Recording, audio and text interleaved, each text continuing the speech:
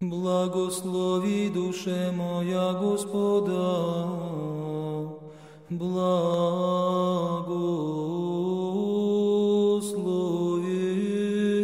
еси, Господи.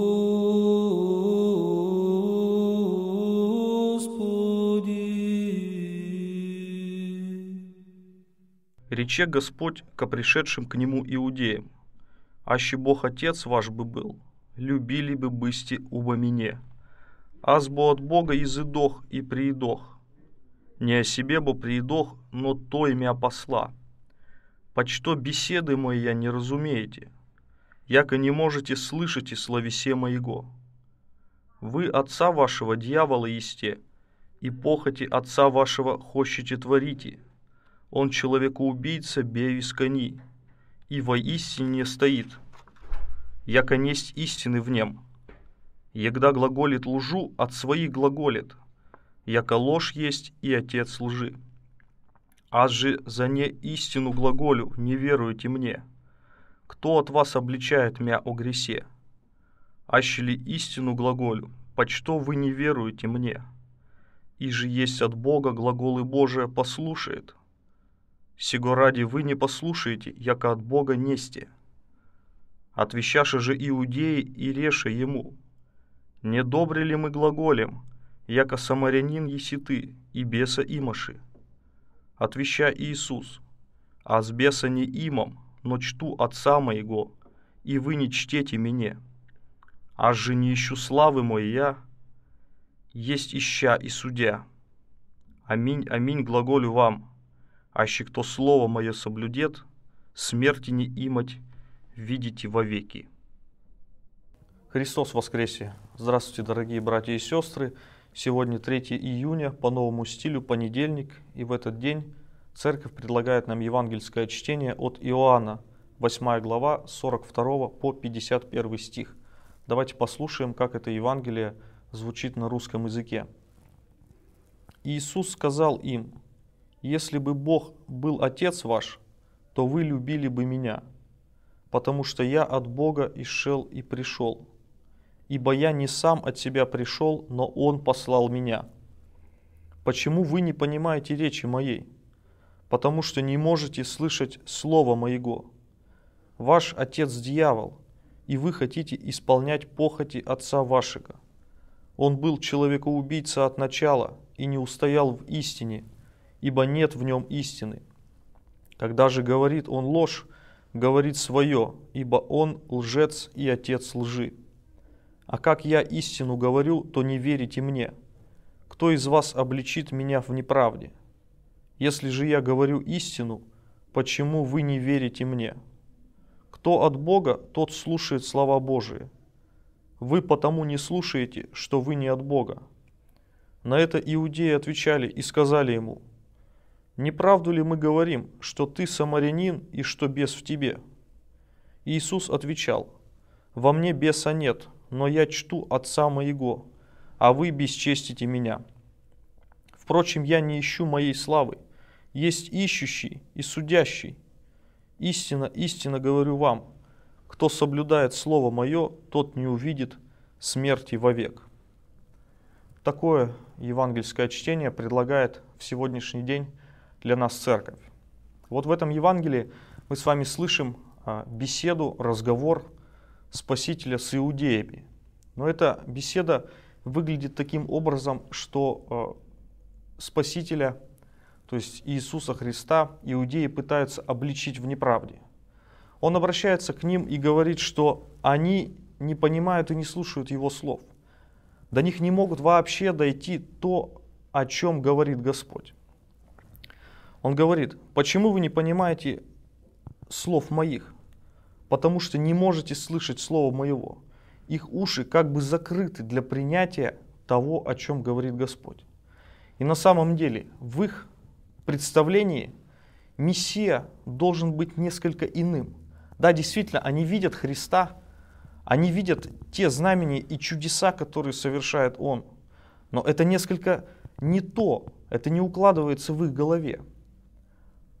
Он, который может все, который может сотворить великие знамения и чудеса, при этом говорит какие-то странные вещи.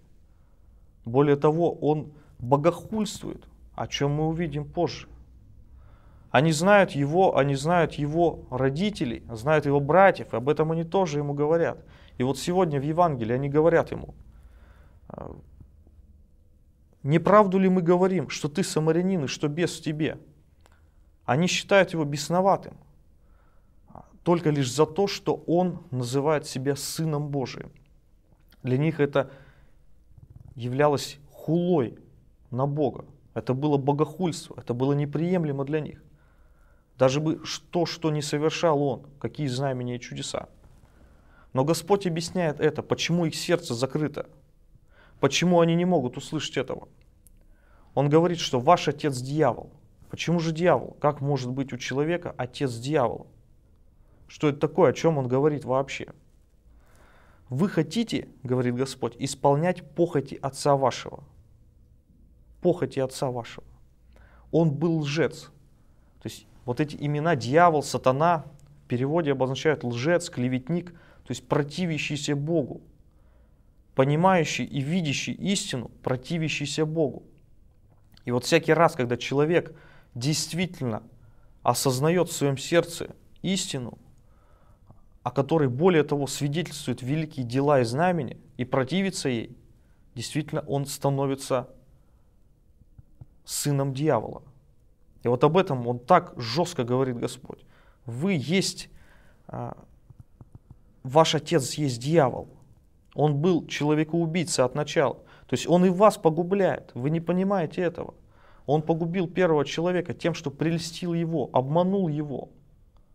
Он сказал ему, что Бог обманывает вас. И вот здесь э, дьявол, э, он искушает ваше сердце, он влагает в них какую-то долю сомнения.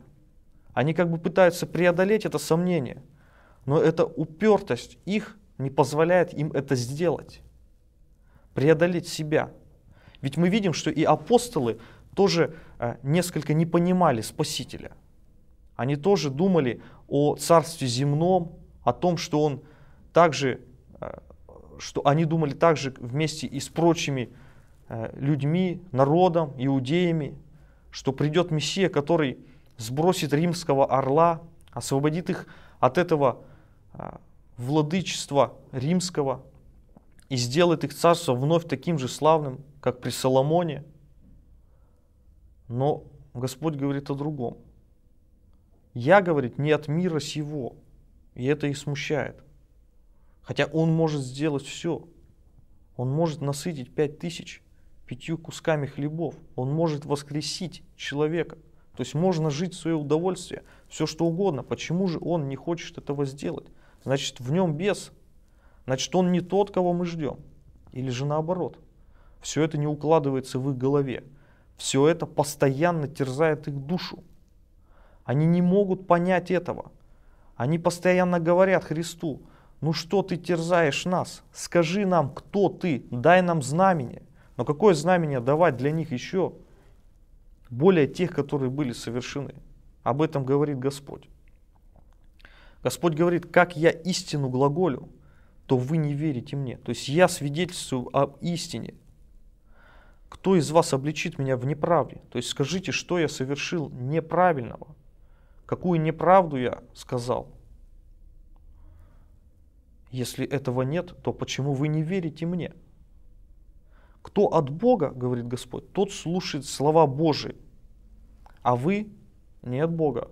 То есть вы от дьявола. Он постоянно желает отвратить человека от Бога, как это совершилось и с первым человеком. Ведь дьявол приступает к первому человеку и говорит ему, что Бог вас обманул, когда сделал эту и сказал о заповеди не вкушать плода. Он вас обманул. Но это случилось совершенно не так. Иудеи отвечали ему и сказали, ты беса имаши, на что Господь отвечает им, нет. И действительно, их утверждение было совершенно безумным. И в заключении этого Евангелия Господь говорит очень важные слова для каждого из нас.